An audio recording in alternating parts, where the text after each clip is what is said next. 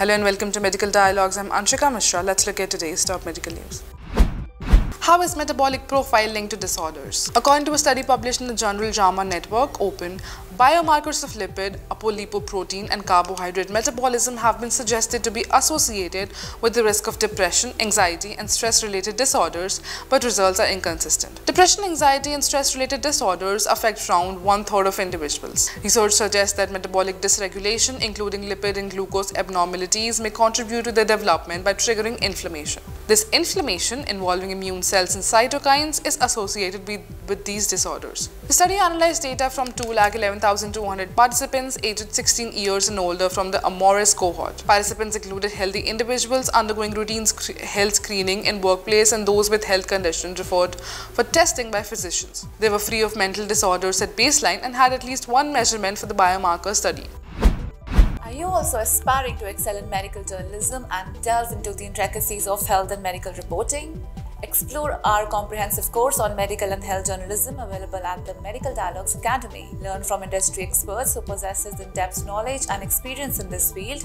For further details, scan the QR code provided or access the link in the description box below.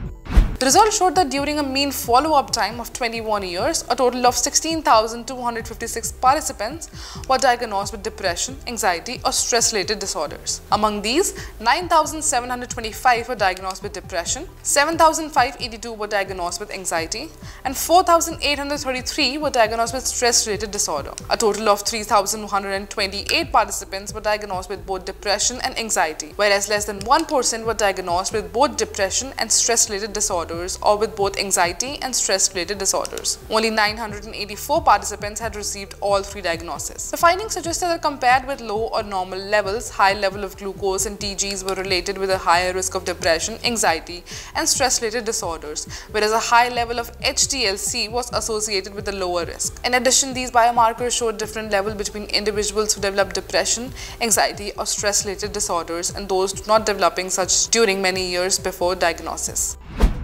Thank you for watching. Stay tuned to Medical Dialogues for more updates.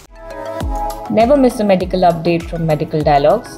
Like, subscribe, and press the bell icon.